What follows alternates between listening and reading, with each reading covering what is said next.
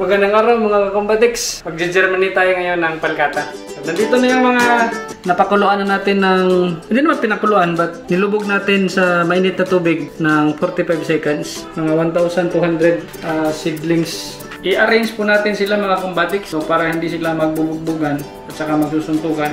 I-spread natin. Dapat ha ganyan talaga yung pag-spread. Spread the love of earth. Spread love. Save our soil. Ah, hindi po ito brief ah. Peaceful na yung mundo nila kasi na-spread na sila. I-cover na lang natin.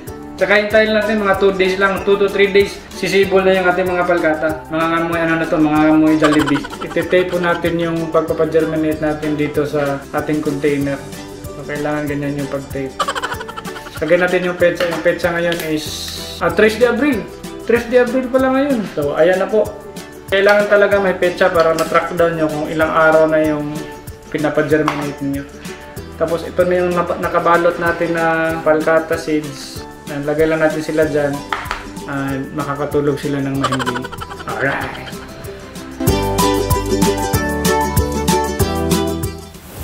Magandang araw mga kakumbatiks. Papakita ko sa inyo ngayon yung ginawa naming seedling bed para sa ating mga palkata. So andito na po yung ating mga palkata na na-germinate na mga kakumbatiks. So yan, napakaliit nila. Mga babies na babies pa talaga. 8, 9, 10. So it's 10 by 10. So ibig sabihin, 10 times 10 equals 100. So tingnan naman natin mga kampatiks kung ilan lahat yung seedling beds na ginawa natin para malaman din natin ilan lahat din yung ating mag-germinate na mga palkata. Bilangin natin 1, 2, 3, 4, 5, 6, 7, 8, 9, 10. We have 10 seedling beds. So kung meron tayong 10 seedling beds at saka bawat isang seedling bed is merong tigo 100 na seedlings, takabuan, makakapag-germinate tayo ng isang libong palkata! Alright! So, bakit ba natin pinipili yung palkata na i-germinate din at saka itanim sa ating cup? Tandaan po natin mga combatics, sa permaculture, kailangan kikita din tayo. Maliban sa palkata, magtatanim din tayo ng mga Philippine native trees na bagras na ginagamit din sa paggawa ng mga papel at saka plywood or for pulp production. So okay lang, meron tayong foreign, saka meron din tayong Philippine native trees. Alright! Kung hindi pa po kayo nakapag-subscribe sa ating channel, mag-subscribe ka na, Kakombatix! Pindutin lang po yung subscribe button dyan sa ilalim para ma-update kita sa aking mga moves like jogger. Ayan, after 3 days mga Kakombatix, it's the moment of truth! Hindi pala tayo natuloy sa ating after 2 days mga Kakombatix dahil bumaha po sa amin, na-delay yung schedule natin. Alright!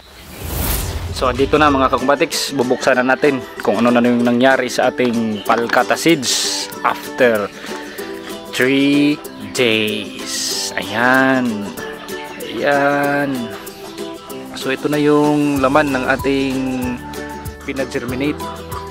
So ayan, dami, di ba? So yun na yung ating mga seeds ng palkata na tumubo na. Titingnan naman natin yung dito sa may puti. Kung ano yung laman. Yan, dahan-dahan na silang gumigising. Ilalagay po natin to doon sa ating mga seedling bags later na merong lamang mga lupa. Para after mga 4 days or 5 days, lalabas na yung kanilang mga dahon. Kaya ito na yun mga kabaliks. Magkakaroon na tayo ng mga maraming palkata.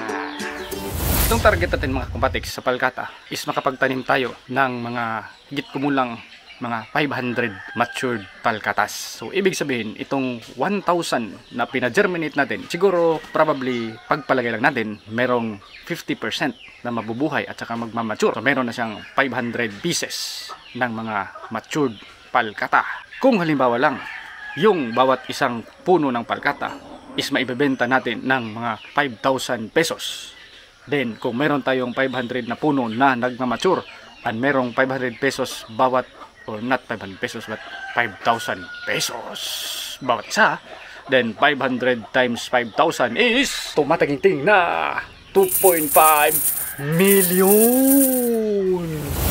Yan po ay projection lamang mga kaumatics posible magkatotoo posible rin hindi.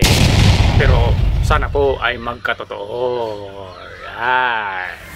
yan po ay aabangan natin after 8 long years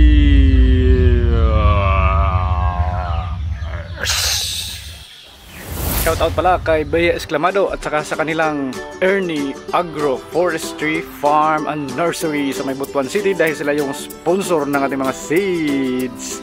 Maraming salamat Bea at saka sa iyong mga magulang. Alright! Pero mas maganda pa rin pag may hihintayin tayo kumpara sa wala.